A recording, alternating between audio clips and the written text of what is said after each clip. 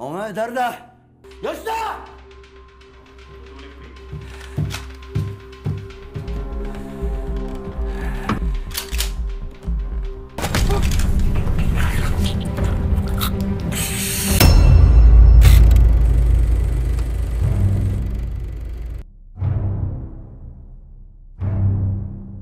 Halo guys, selamat datang kembali di Rasinema.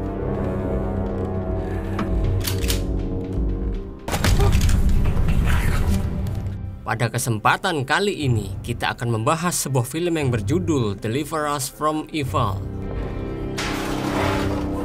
Film ini menceritakan tentang kehidupan mantan pembunuh bayaran dan terperangkap pada sebuah peristiwa penculikan yang tidak lain berhubungan dengan korban pembunuhan sesuai kontrak terakhirnya. Tanpa basa-basi lagi, langsung saja kita simak alur ceritanya take the Korean camp.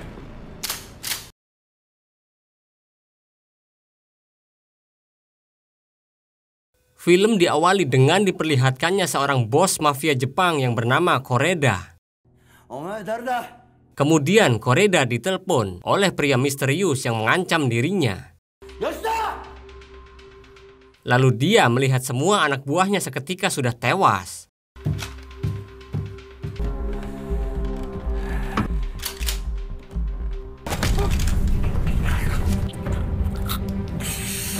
Namun tiba-tiba saja ada seorang pria yang mencekik lehernya dengan sebuah kawat. Yang mana pria itu merupakan seorang pembunuh bayaran yang bernama Kim In Nam. Kim sebenarnya adalah mantan agen rahasia yang memiliki kemampuan membunuh tingkat tinggi dan sudah dilatih sedemikian rupa agar menjadi mesin pembunuh yang sempurna. Namun karena pemerintah menganggap bahwa program atau latihan tersebut akan menciptakan sosok mesin pembunuh, maka dari itu kini Kim dilengsarkan dari badan intelijen negara dan dia masih dipekerjakan secara diam-diam oleh beberapa pihak terkait yang masih membutuhkan jasanya.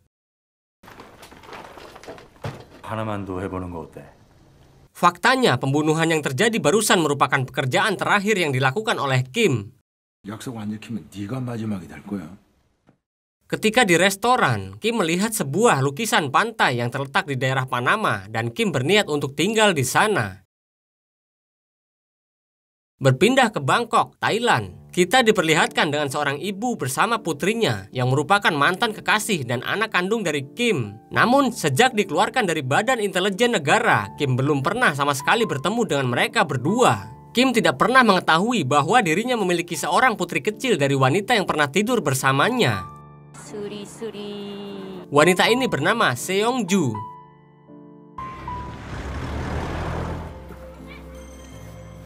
Kemudian saat putrinya pulang sekolah diculik oleh seorang wanita Korea yang tinggal di Thailand.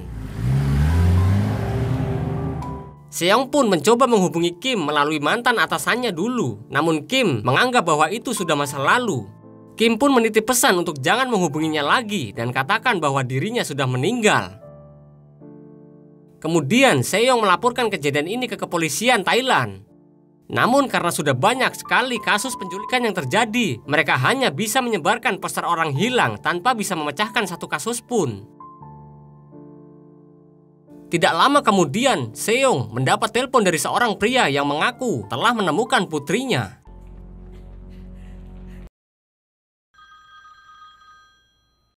Di sisi lain, Kim sendiri mendapatkan kabar jika Seong telah meninggal.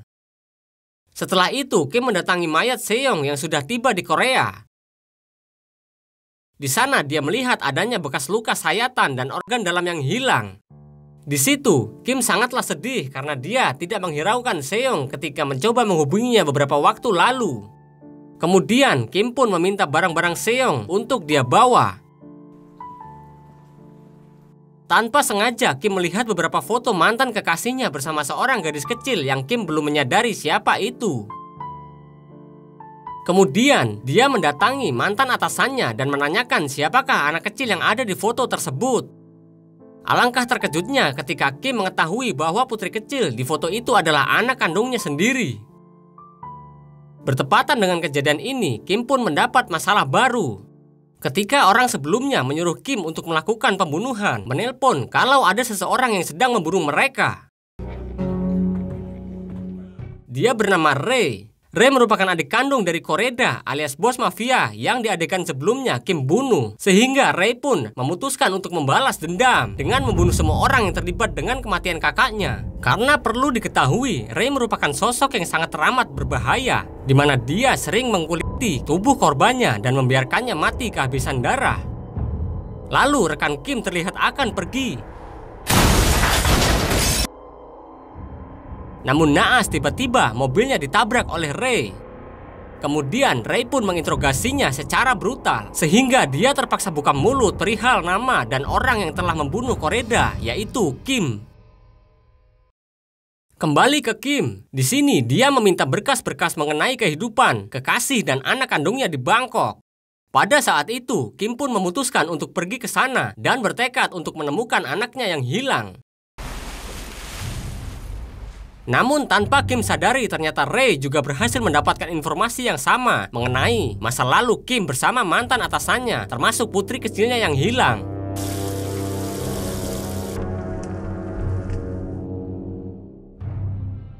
Kim yang sudah tiba di Bangkok, di sana dia menemui seorang pria yang merupakan teman dari atasannya.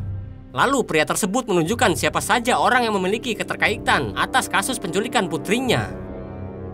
Dengan petunjuk yang diberikan oleh teman atasannya, Kim pun menyelidiki seorang pria berkemeja putih. Pria tersebut merupakan agen perumahan real estate yang pernah menemui kekasihnya saat terjadi penculikan. Tidak lama dari itu, Kim pun berhasil menangkap pria tersebut di dalam mobil. Di sini, Kim menginterogasinya dan memotong salah satu ibu jarinya dengan sangat sadis. Pria tersebut pun akhirnya buka mulut bahwa dirinya telah dibayar untuk mengalihkan perhatian mantan kekasih Kim itu agar saat anaknya pulang sekolah, si penculik bisa leluasa untuk menculik putrinya. Kim yang mendengar bahwa putrinya telah tewas, tanpa pikir panjang dia langsung menggunting erat nadi leher pria itu. Di sisi lain, Ray ternyata bergerak lebih cepat dengan lebih dulu berhasil mengetahui wajah penculik tersebut.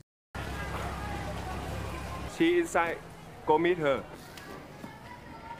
แถมยังกล้ามาคนเดียวซะด้วย Namun ternyata dia telah dijebak oleh beberapa preman Bangkok.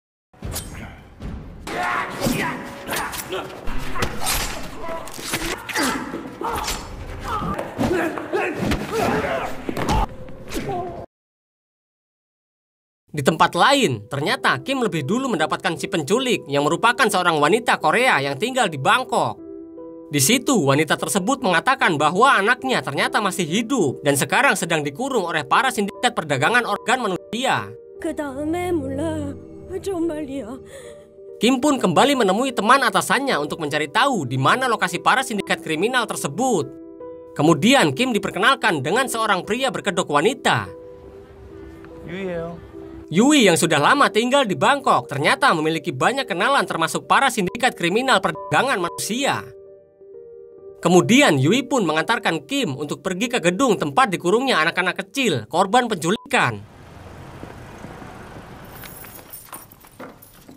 Sesampainya di sana, Kim dan Yui pun berpura-pura sedang membutuhkan seorang anak Korea dengan ciri-ciri yang sudah disebutkan. Lalu salah satu penjaga di sana mengatakan bahwa memang baru-baru ini mereka memiliki satu anak perempuan Korea, tetapi sudah lebih dulu dipesan oleh orang lain. Saat diminta menunggu, Kim pun sudah tidak sabar.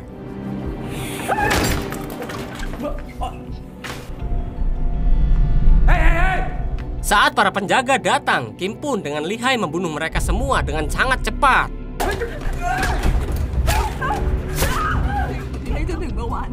Setelah diancam, penjaga wanita itu pun akhirnya buka mulut bahwa Putri Kim telah dibawa ke suatu tempat untuk dilakukan operasi pengambilan jantung. Dan ketika mereka akan pergi, tiba-tiba muncullah Ray di ujung lorong.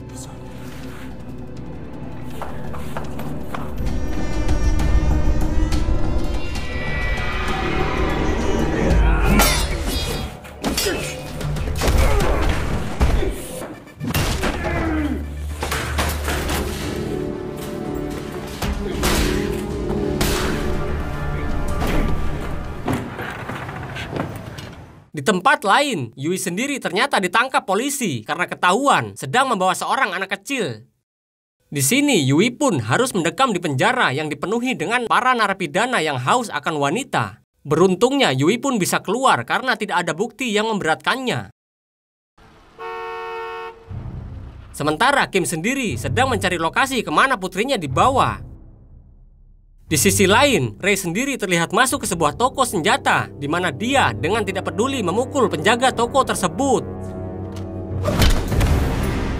Kemudian Ray menyuruhnya untuk memanggil para preman yang menguasai daerah tersebut. Take the Korean. Kembali ke Kim yang sudah tiba di gedung tempat putrinya dikurung. Terlihat putri Kim akan dibawa pergi ke suatu tempat. Tanpa pikir panjang, Kim pun mengejar mereka.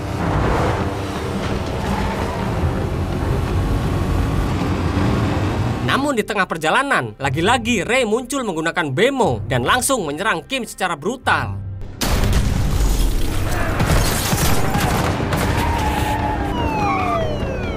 Kim pun berbalik arah, namun dirinya justru dihalangi oleh para polisi yang akan menangkapnya atas kasus pembunuhan di gedung kemarin. Beruntungnya Ray pun datang, yang tanpa sengaja Ray telah membantu Kim untuk segera pergi menyelamatkan anaknya.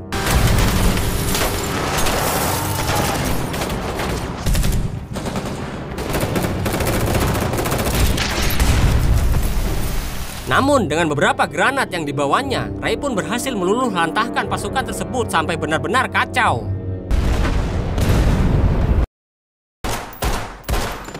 Kembali ke Kim, saat dia sampai di lokasi, Kim dengan cepat menembak para dokter bedah itu. Kim pun memutuskan untuk tinggal di sebuah hotel sementara waktu. Tetapi ini semua belum berakhir. Kegaduhan dan keributan yang ditimbulkan ternyata memancing amarah sang bos sindikat kejahatan. Di mana saat mereka sedang berdiskusi, muncullah Ray yang memaksa masuk dengan granat di tubuhnya. Dia menawarkan kerjasama demi menangkap satu orang pria yaitu Kim. Why would you want to get him so badly? The reason doesn't matter. Ray yang dibantu oleh para penjahat itu pun berhasil mendapatkan teman atasannya Kim, di mana dia disiksa habis-habisan hingga akhirnya buka mulut mengenai hotel tempat Kim menginap. Kembali ke Kim, dia terlihat sedih melihat kondisi trauma psikologis yang dialami putrinya. Lalu Kim pun memanggil seorang dokter untuk memeriksa putrinya. Di sini, Kim meminta tolong kepada dokter tersebut untuk menjaga putrinya sampai Kim tiba kembali, karena Kim akan keluar sebentar untuk mencari seseorang. Kemudian, Kim pun duduk di samping putri kecilnya, dan dia memeluknya sambil menangis. Selanjutnya, Kim pun pergi keluar sebentar untuk menemui seseorang yang bisa membawa putrinya pergi dari Bangkok. 5 p.m. Don't forget the rest of the money. Saat Kim kembali ke hotel, di situ sudah ada pasukan penjahat yang merupakan anak buahnya si bos gembong kriminal.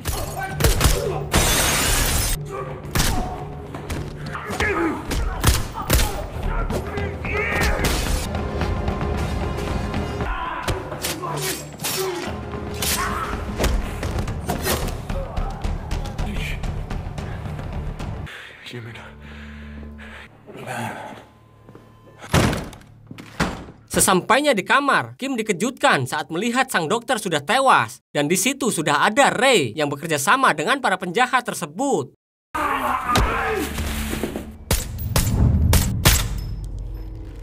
Namun, saat para penjahat itu akan membawa Kim untuk diserahkan kepada bosnya, Ray menembak mereka semua. Ray berencana untuk membuat Kim menderita dengan akan membunuh putrinya tepat di depan mata kepalanya sendiri, sehingga hal itu dianggap setimpal dengan kematian kakaknya. Merasa tempat ini tidak aman, Ray menyuruh anak buahnya untuk membawa Kim ke tempat yang telah ditentukan. Sementara Ray sendiri akan membawa koper yang berisi putri Kim.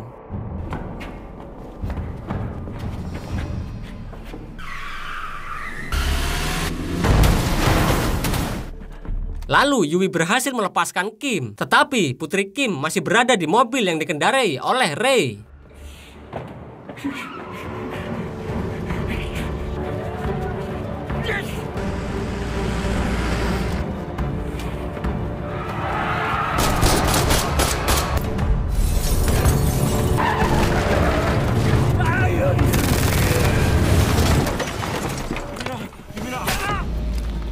Kim berusaha untuk mengeluarkan putrinya dari koper tersebut. Ray berhasil menikam Kim.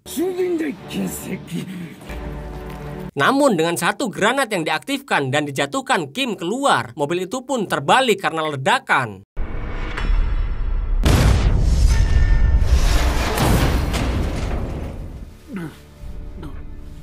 Saat putrinya sudah diselamatkan, muncullah Yui yang langsung mengambil putri Kim tersebut. Di situ, Kim melihat putrinya dan Yui yang berhasil pergi. Dia pun memutuskan untuk berkorban demi menyelamatkan si buah hati. Dan saat Ray optimis bisa membalaskan dendam kakaknya, dia sudah salah besar. Karena Kim sudah menggenggam satu granat lagi di tangannya.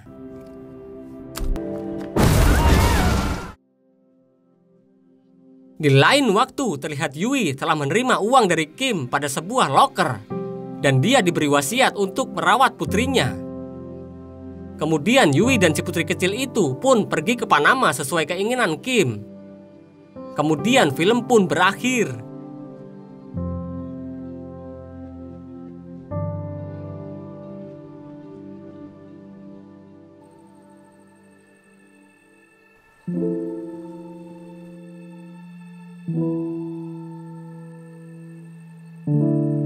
Oke okay guys, itu tadi alur film Deliver Us From Evil. Apabila ada kesalahan ataupun kata-kata yang kurang, kami mohon maaf. Sekian dulu video dari kita dan nantikan video selanjutnya. Sampai jumpa.